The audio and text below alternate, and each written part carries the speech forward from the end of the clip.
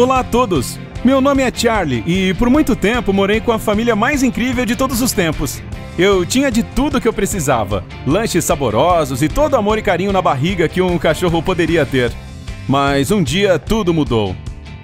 Era apenas mais um dia qualquer. Eu acordei, meus humanos, tomei café da manhã e estava prestes a tirar uma soneca quando minha melhor amiga no mundo, Jenny, disse: Nós temos que ir. Uhul! Eu achei que estávamos prontos para mais uma aventura. Quando eu pulei para o meu lugar no carro, eu estava realmente animado. Aonde estamos indo desta vez? O que vamos fazer? Deve ser algo realmente especial. Eu amo estar no carro, então os próximos minutos foram os melhores. E eu enfiei a cabeça para fora para ver todos os edifícios e árvores passando. A única coisa que me incomodou foi que a Jenny estava no telefone o tempo todo. O carro finalmente parou e eu pulei para esticar as pernas e correr um pouco. Nós estávamos no maior e mais bonito campo que eu já vi. Ah, eu entendi, nós estávamos prestes a dar uma caminhada, certo? Mas quando eu comecei a farejar e procurar por um graveto para brincar, Jenny pulou de volta para o carro e rapidamente foi embora. Hum, ok. Talvez este fosse um novo nível de esconde-esconde, coisa que amamos brincar em casa. Ou talvez fosse como aquele filme que vimos juntos, quando um cachorro esperava que seu dono voltasse todos os dias? Eu entendi que era isso e eu só tinha que esperar a Jenny voltar. Então ela me daria um petisco por ser um bom menino, como ela sempre dizia, e nós voltaríamos para casa. Então fiz o que tinha que fazer, esperei a Jenny vendo os outros carros passando. O próximo carro seria o da Jenny. Ok, não esse, mas o próximo tinha que ser dela. Ou não. Estava ficando mais escuro e um pensamento selvagem surgiu na minha cabeça. E se a Jenny não voltasse? Naquele momento, percebi que provavelmente deveria voltar para casa sozinho. Então comecei a andar. Estava ficando mais escuro e frio e eu estava com muita fome. Depois de algum tempo, me deparei com uma lata de lixo e não pude deixar de fuçar nela. Alguém deixou uns cachorros quentes lá. Eles definitivamente não cheiravam bem, mas eu estava com tanta fome que os devorei e continuei andando para casa. Todo esse tempo eu não podia deixar de me perguntar o que eu teria feito de errado. Por que eles estavam me punindo? Eu andava meio levado ultimamente, é verdade, mas eles sempre aceitaram bem isso. Estava começando a ficar muito tarde e eu estava tão cansado que decidi dormir por um tempo. Eu encontrei um tapete sujo ao lado de algumas latas de lixo, fiquei debaixo dele para me manter pelo menos um pouco aquecido e adormeci. E eu acordei com o som de buzinas. O quê? O que estava acontecendo? Por que eu adormeci debaixo de um tapete? É, de qualquer forma, era hora de acordar a Jenny e o Michael. Além disso, eu tive um sonho estranho na noite passada. Mas quando me levantei, percebi que não era um sonho. Isso realmente aconteceu. Eu me senti tão sozinho, abandonado e com fome. Encontrei outro lanche quase podre no chão e decidi continuar andando. Eu finalmente cheguei a um lugar com milhares de pessoas andando e carros em todos os lugares. Eu estava completamente perdido. Alguns dos humanos apenas me olhavam de forma estranha e andavam desviando de mim. Outros tentavam me acariciar eu me senti tão assustado e oprimido pela coisa toda que corri e me escondi no primeiro beco que pude encontrar. Mas lá eu enfrentei outro problema. Havia outros dois cachorros lá. Eles definitivamente não pareciam felizes em me ver. Ei, só estou tentando encontrar minha casa, eu já estou indo embora. Que casa? Um deles disse. Eu contei a história toda sobre mim e Jenny. Expliquei como cheguei lá e perguntei se viram uma casa como a minha nas proximidades.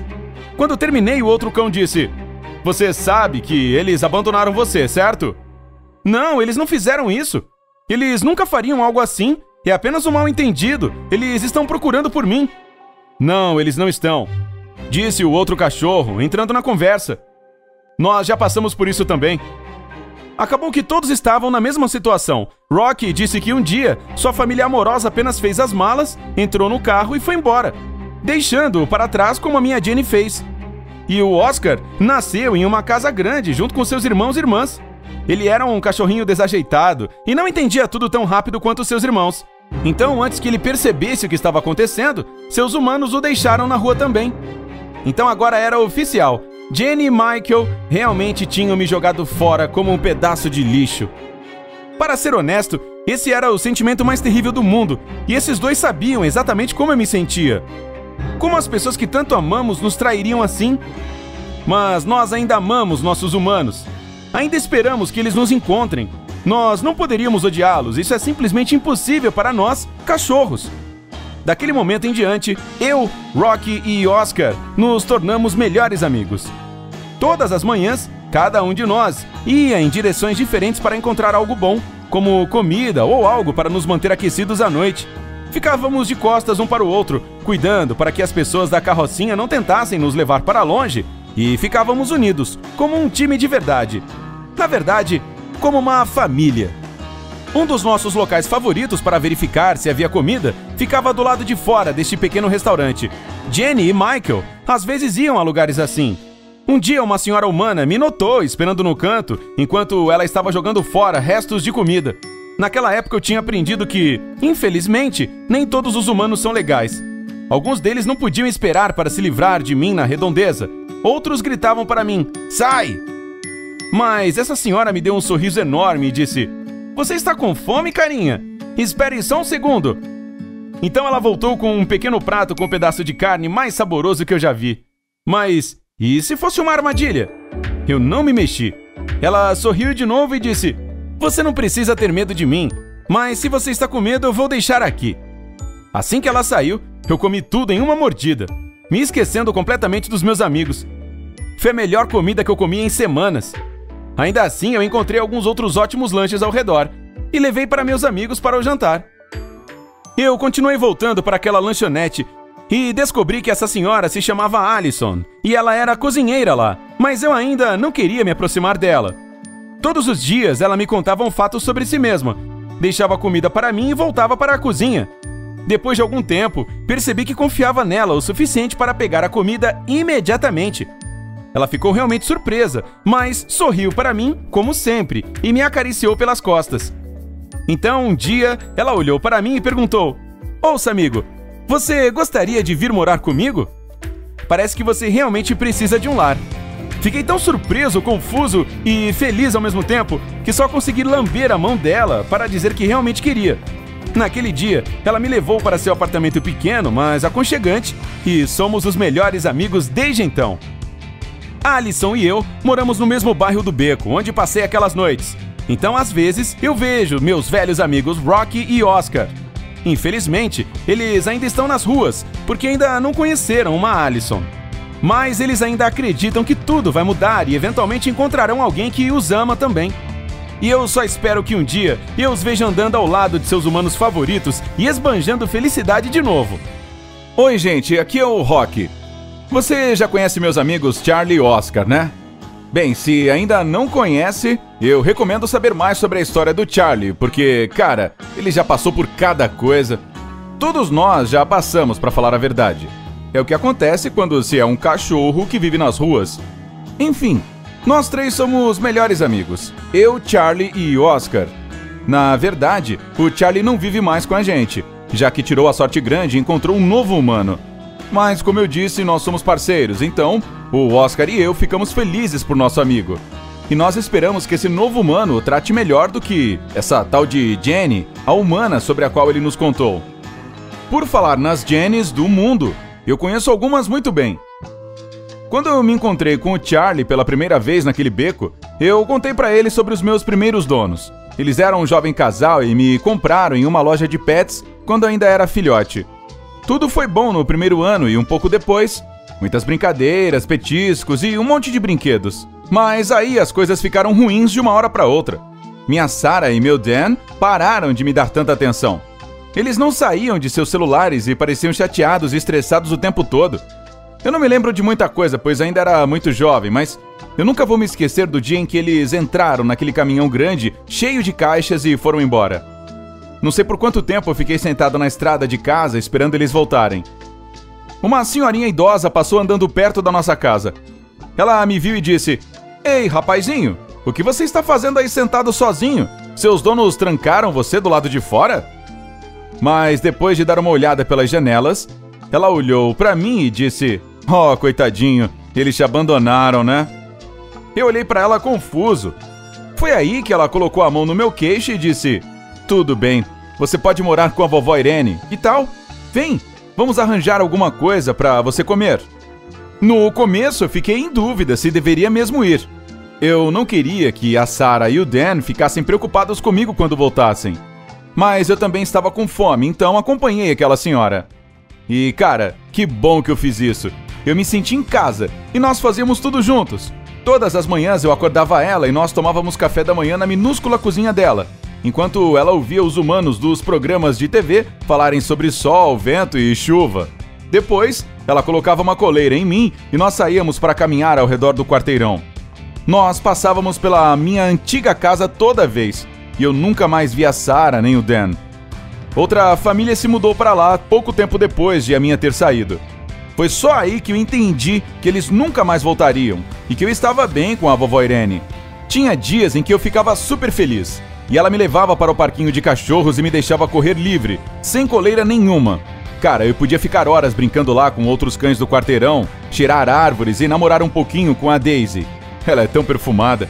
À noite, nós sentávamos no sofá e assistíamos a TV juntos. Ah, não existe nada melhor que ficar escondidinho com sua humana preferida enquanto ela acaricia sua barriga e suas costas. Aí, um dia, quando as folhas estavam alaranjadas e o céu cinzento, eu acordei e comecei a esfregar o focinho na avó Irene, como sempre fazia todas as manhãs. Acorda, tá na hora do café! É hora de ver o pessoal da TV falar sobre chuva e as nuvens. Só que desta vez ela não acordou. Eu esperei, esperei e depois comecei a latir para que ela abrisse os olhos e fosse comigo para a cozinha, como fizemos tantas vezes. Nosso vizinho Chris deve ter ouvido meus latidos, pois entrou lá em casa pouco tempo depois. A avó Irene tinha dado uma chave extra para ele para casos de emergência. Bem, hoje era uma emergência. Um carro branco chegou e as pessoas que estavam lá dentro levaram minha doce Irene embora. Eu sabia o que tinha acontecido, eu só me recusava a acreditar. O Chris veio no dia seguinte para me dar comida e para me levar para passear. Aí a filha da avó Irene, a Karen, e o marido dela, Sam, chegaram poucos dias depois. Eles nunca gostaram muito de mim, eles me chamavam de nomes feios como saco de pulgas e vira-lata, então eu preferia ficar longe deles. Eles continuaram a vir e, às vezes, eles vinham acompanhados de estranhos. Eles iam em cada cômodo da casa. Aí um dia, os dois chegaram lá em casa de novo e a Karen foi até legal comigo ela disse: Vem cá, garoto, quer ir para o parquinho de cachorros? Eu ainda estava sentindo falta da vovó Irene, mas eu também queria sair de casa e ver meus amigos no parque. Assim que chegamos lá, a Karen tirou minha coleira e eu saí por aí, farejando tudo. Mas depois de um bom tempo, eu senti que alguma coisa estava errada. Então fui procurá-la. Só que ela não estava mais lá. Eu sempre soube que a Karen não gostava de mim, mas como ela tinha sido capaz de me abandonar? Bem, ok. Já que não tinha mais a vovó Irene, eu saí vagando por aí. Pouco tempo depois eu conheci o Oscar. Nós nos demos bem desde o início.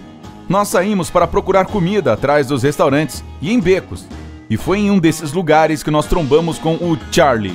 Ele tinha acabado de ser abandonado, então o Oscar e eu o orientamos. Aí, nós três acabamos formando um time. Bem, como o Charlie lhe contou, nós saíamos para procurar comida, nos escondíamos das pessoas mas e esquentávamos uns aos outros nas noites frias.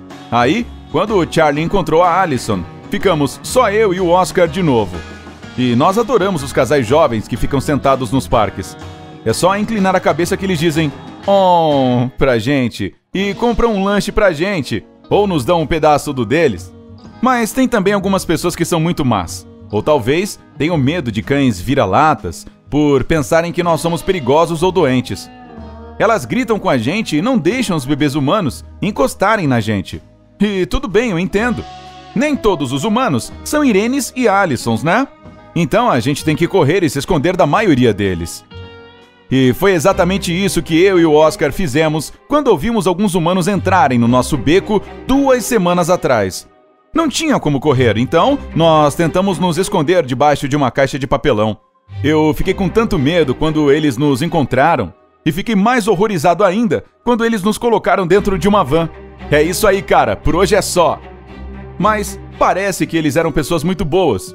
Eles procuravam por cães como a gente nas ruas que tinham sido abandonados por suas famílias. Aí, eles nos levaram para um abrigo onde nos deram comida e nos ensinaram truques super legais.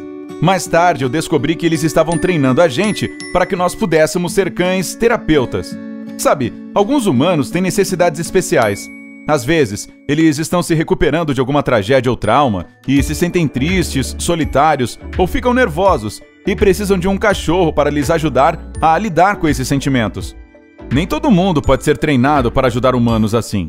É preciso ter a personalidade certa. Mas acho que as pessoas do abrigo perceberam que eu e o Oscar tivemos famílias antes e que éramos simpáticos e calmos. Então, eles nos escolheram. O treinamento não é nada fácil. Você tem que aprender muitas coisas antes de se tornar um cão terapeuta. Acho que a nossa primeira missão será ajudar idosos, pois tivemos um visitante assim alguns dias atrás. Era uma senhorinha dócil, igual a vovó Irene, e ela passou muito tempo conosco. Ela até trouxe alguns petiscos pra gente. Eu sei que nós provavelmente não haveremos de novo, mas eu fico feliz em poder ajudar pessoas como ela. Sim, os humanos podem ser cruéis, eu já comprovei isso. Mas eles também podem ser dóceis e bondosos. Apesar de tudo o que aconteceu comigo, eu ainda acredito nisso. Você adotaria um cão vira-lata? Conte pra mim nos comentários.